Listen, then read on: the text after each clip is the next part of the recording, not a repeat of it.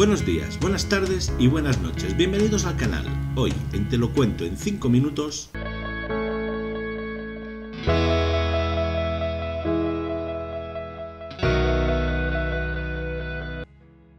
Hoy encontrada en un búnker tenemos Greenland, film dirigido por Rick Roman Bauk y protagonizada por Gerald Butler, Morena Baccarin, Roger Del Floyd, David Denman, y Scott Glenn, con una duración de 119 minutos del género thriller y acción, fue estrenada en el 2020.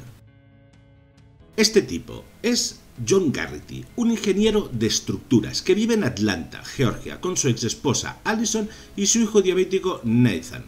El tipo está arriba del todo de un edificio que está construyendo, observando el horizonte, dejando que la brisa palpe su piel y también mirando el móvil. ¿Por qué no? Lo hace todo menos trabajar. Luego se acerca alguien por detrás.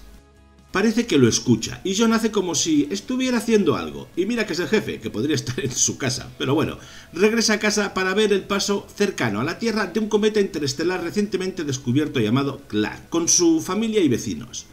En una tienda de comestibles, John recibe una extraña llamada telefónica automatizada, informándole que él y su familia han sido preseleccionados para ir a un búnker de emergencia. Preocupado regresa a casa justo cuando un fragmento de cometa entra en la atmósfera en la televisión en directo, previamente previsto para aterrizar cerca de las Bermudas. El fragmento golpea Tampa, Florida, vaporizando la ciudad y gran parte de Florida. John recibe una vez más una llamada automática con instrucciones para estar en la base de la Fuerza Aérea de Warner Robins para realizar un vuelo de evacuación. Los Garrett luego aprenden de su vecino Ed que Clark es en realidad un grupo gigante de objetos que se espera que bombardeen la Tierra durante los próximos dos días y se espera que el fragmento más grande cause un evento de nivel de extinción. La familia hace las maletas y se pira de allí cagando leches. Y ya en el aeropuerto de Robbins y habiendo cruzado la entrada con sus nuevas pulseritas de acceso, se ven obligados a juntar sus pertenencias en una sola bolsa. La familia descubre que Nathan dejó accidentalmente su insulina en el automóvil. ¿Por qué? Porque el niño tenía frío. Y bueno, ya ves, a John volviendo al coche a toda hostia. Mientras que Allison y Nathan se les dice que no pueden ser evacuados debido a la enfermedad de Nathan y posteriormente son escoltados fuera de la base, al darse cuenta de lo que les sucedió al abordar un avión, John abandona la base cuando una turba en pánico irrumpe, provocando un tiroteo que inadvertidamente enciende el combustible de los aviones, destruyendo varios aviones de evacuación. Entonces, al regresar a su automóvil encuentra una nota dejada por Allison que dice que ella y su hijo se dirigen a la casa de su padre en Lexington, Kentucky. Allison y Nathan obtienen suministros médicos de una tienda saqueada y son recogidos por una pareja llamada Ralph y Yadi, Yadi Bento, que también se dirigen hacia allí. Lo que pasa es que después de que Allison les cuente lo que sucedió en la base, Ralph saca del coche a Allison a la fuerza y secuestra a Nathan por horror de Judy, aunque tampoco es que se lo impida mucho, la verdad. Dice, no, no, por favor, para, detente. Pero todo eso, sentada y sin mover un dedo. Bueno, vamos a John. Él se las arregla para subirse a un camión con otros supervivientes, donde se entera a través de un joven llamado Colin que los aviones están volando a Groenlandia. Otros supervivientes se dan cuenta de la pulserita de John e intentan quitársela. Y aunque John les dice que está identificada con su identidad y no podrán acceder a la base de ninguna manera, a ellos les da igual.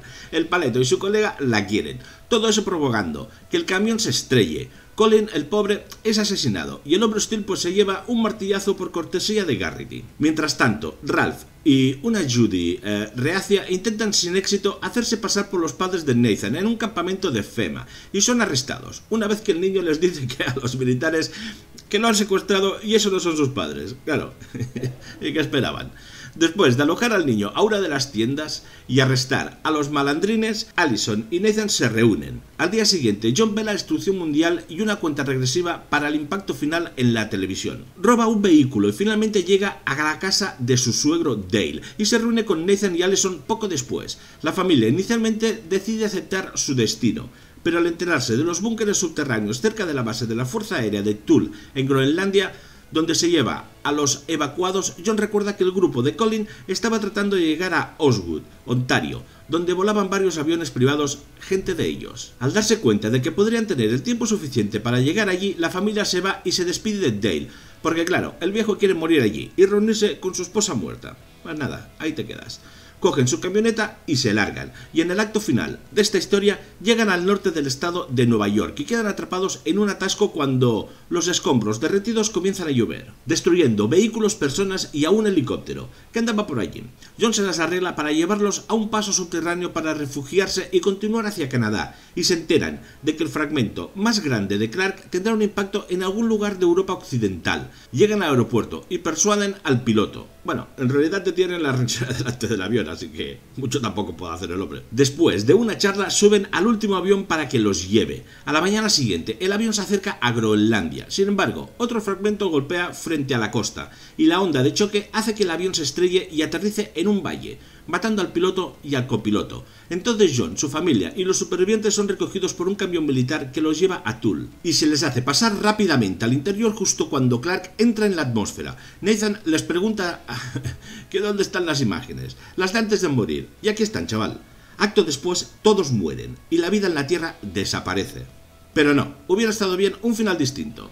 Pero nueve meses después, la base de Groenlandia intenta establecer contacto por radio con otros posibles supervivientes, ya que varias ciudades se muestran en total ruina, incluidas Sydney, Buenos Aires, Ciudad de México, París y Chicago. Los Garrety y otros supervivientes de refugio salen para ver un paisaje que ha cambiado radicalmente, mientras que Groenlandia finalmente establece contacto con otras estaciones de todo el mundo. Ambos se sienten aliviados de escucharse mutuamente e informar que la atmósfera finalmente se está despejando, lo que potencialmente le da a la humanidad la oportunidad de reconstruir la civilización. Fin de esta historia. En diferentes momentos de la historia, Jack, Allison y Nathan se separan, algo que la película utiliza para explorar las diferentes facetas de la naturaleza humana. Se encuentran con todas las marcas y modelos de la humanidad, algunos llenos de compasión y abnegación, otros que son maliciosos y oportunistas. Es una capa inesperada de la historia que realmente destaca uno de los mayores intereses de la película. Añadiendo la lista de sorpresas de la película, Greenland es siempre entretenida y nunca llega un momento de calma. Eso es porque todo se trata realmente de algo más que cometas y destrucción masiva. Se trata de la familia. Sí, aprendemos más sobre el misterioso proceso de selección del gobierno y hay algunos comentarios sociales interesantes para empezar.